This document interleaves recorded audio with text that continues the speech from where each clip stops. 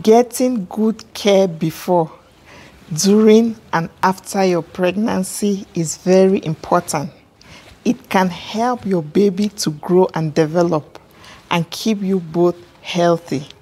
It is the best way to be sure your little one gets a head start on a healthy life. Hello there, beautiful people, and welcome back to my YouTube channel. It's your girl Shienwi Tapisi. To all my returning subscribers, welcome. If you're new, you're in the right place. Please subscribe to my YouTube channel and also click on the notification bell so you don't miss out on any of my uploads. In this video of today, I'll be sharing with you pregnancy tips for soon to be dads. The first tip attend antenatal checkups with your wife. We all know at this moment your wife is carrying your precious baby, your miracle baby. Attending antenatal checkups with your wife will help you to be well informed about your wife's health, everything that is going on with her, and also your unborn baby's health to know if there are any concerns that need to be attended to and if you're attending antenatal checkups, it will be good for you because you will easily know the concerns and you will attend to them faster than if you were not attending in some cases. So it's always good for you to attend antenatal checkups. Here, you're also going to learn about other things you didn't know. You're going to learn about things maybe you read or you heard from people. You're going to ask questions that will help you to clarify your doubts. Tip number two be her advocate and ask lots of questions. Why attending antenatal checkups with your wife? In some cases, you might notice that the midwife or the doctor who is attending to your wife will ignore you unintentionally if you are just quiet. But if you decide to ask a lot of questions by making them to know, hi, I'm here too, and I'm willing to learn, they are going to provide all the answers to your questions and they are going to ask you if you have more questions. In such situations, you yourself you'll be actively involved. They will also pay attention to you and they will not ignore you again whenever you go. So before going for antenatal checkups with your wife, have your questions you're going to ask either the midwife or the doctor who will be attending to your wife.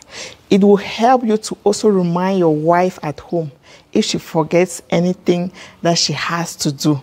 You're going to be a full participant in the pregnancy and you're not going to expect your wife to be the one telling you everything.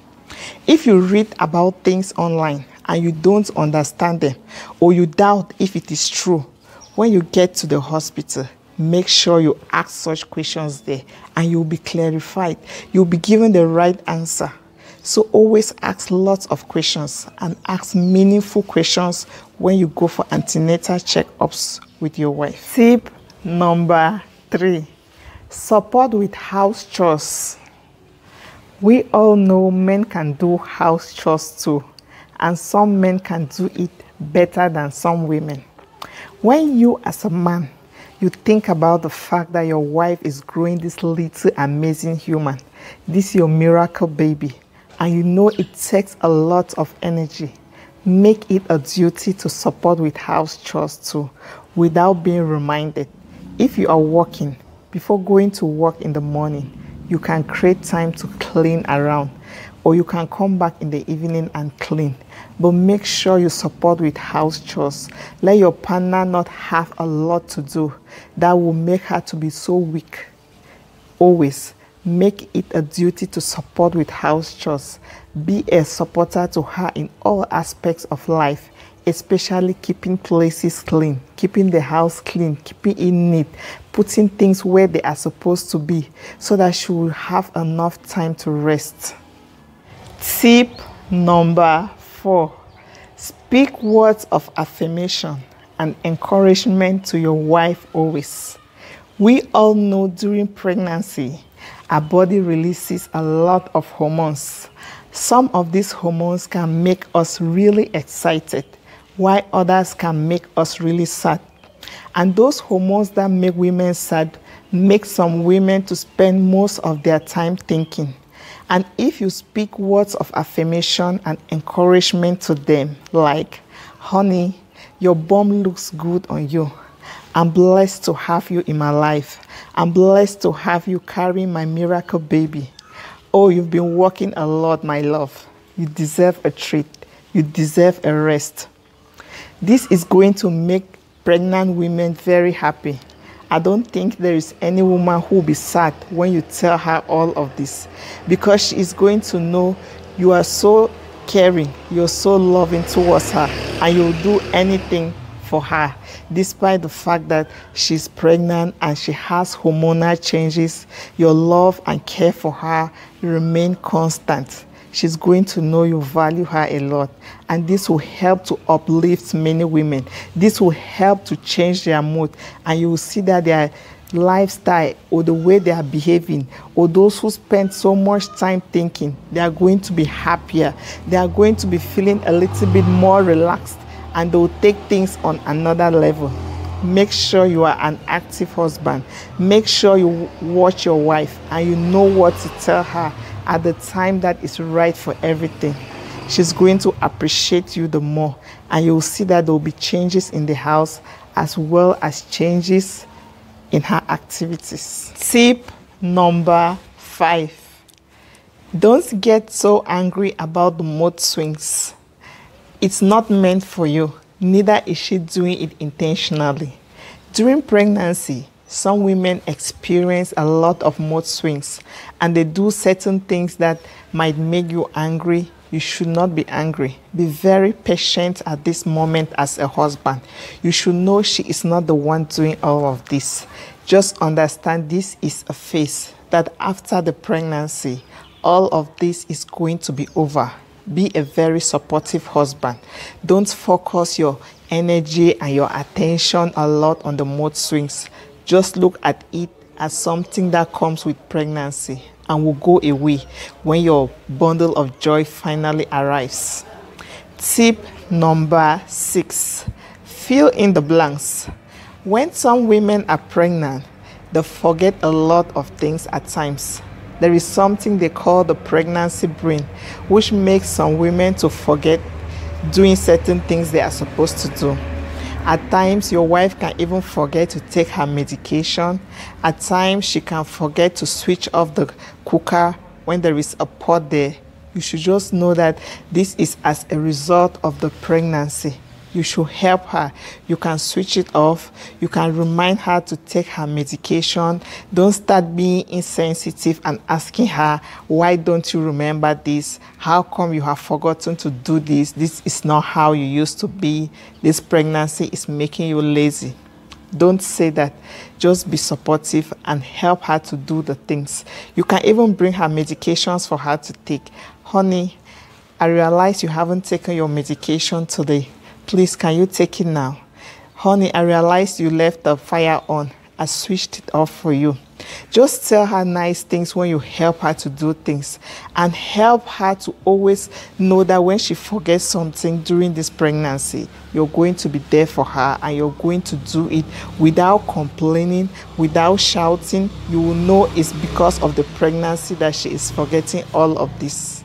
Tip number seven read talk, and sing to your baby to be.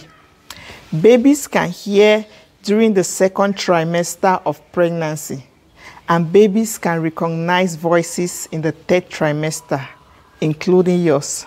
So, as a dad to be, always create time to read to your baby while he or she is in the womb. Talk to your baby.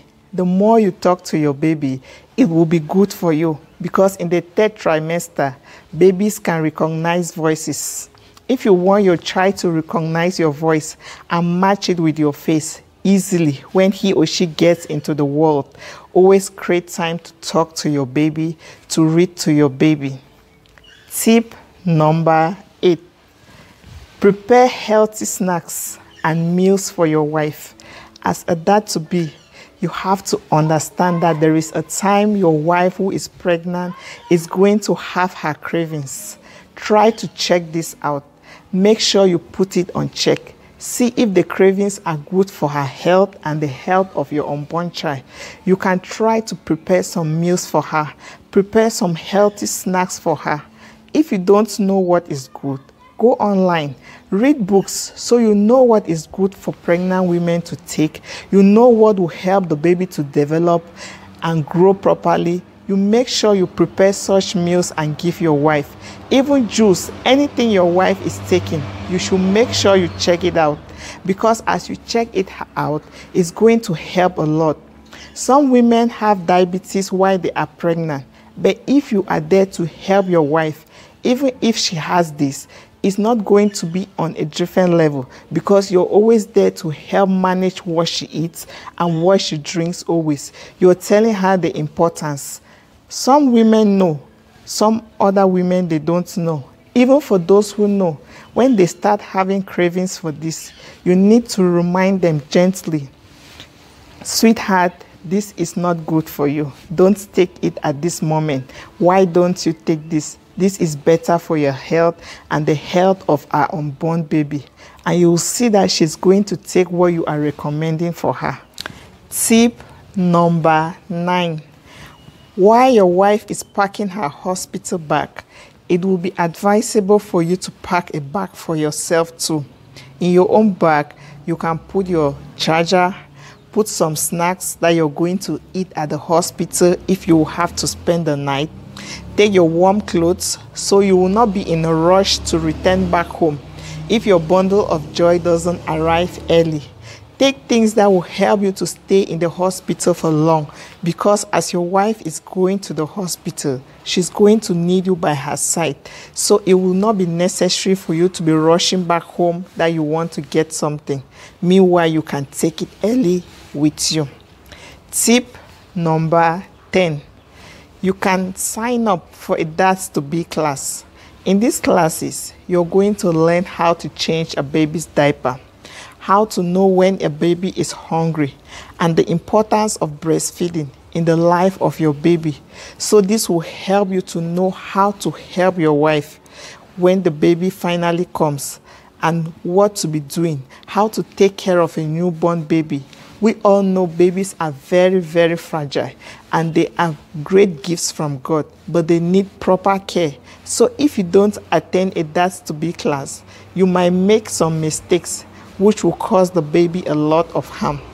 Make sure you attend the class. You also read up books. You can watch videos on the internet so you know exactly what to do when your baby finally arrives. So you give your baby the proper care that he or she deserves and know what is wrong with the baby whenever there is something wrong and attend to it immediately. Tip number 11 try to have a tag on your hospital bag. And on this tag, you can write the name of the midwife that will be attending to your wife or the medical doctor. And when your wife is experiencing her contractions, where she's having a lot of pains and she can't talk to you, or if she sees her mucus plug, or let's say her water breaks, it will be easy for you to call the hospital and talk to the midwife or talk to the doctor that will be attending to your wife. You say, My wife has seen her mucus plug, her water has just broken. What should we do?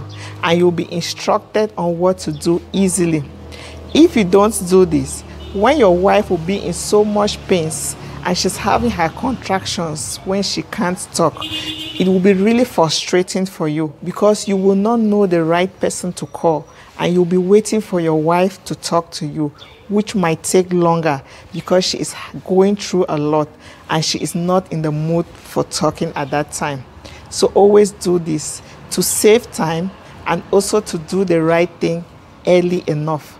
And when they give you the instructions, you will just take your wife to the car, you take her to the hospital, and they'll already be waiting for you because you have given a call. So it will be easier for everything.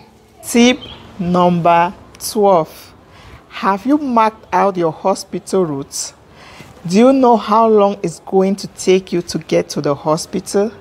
Do you know any short road you can use to get to the hospital during rush hours? If you haven't done so, this is a time for you to do it so that when your wife eventually goes into labor, you will know the appropriate road to take so you will get to the hospital early for your wife to be attended to.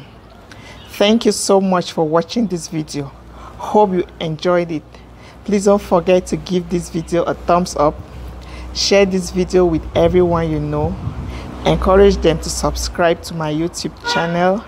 Leave your thoughts in the comment section below. And if you're watching, you haven't subscribed, what are you waiting for? Please subscribe to my YouTube channel. I'll see you in my next video. Stay blessed. God loves you. Bye bye.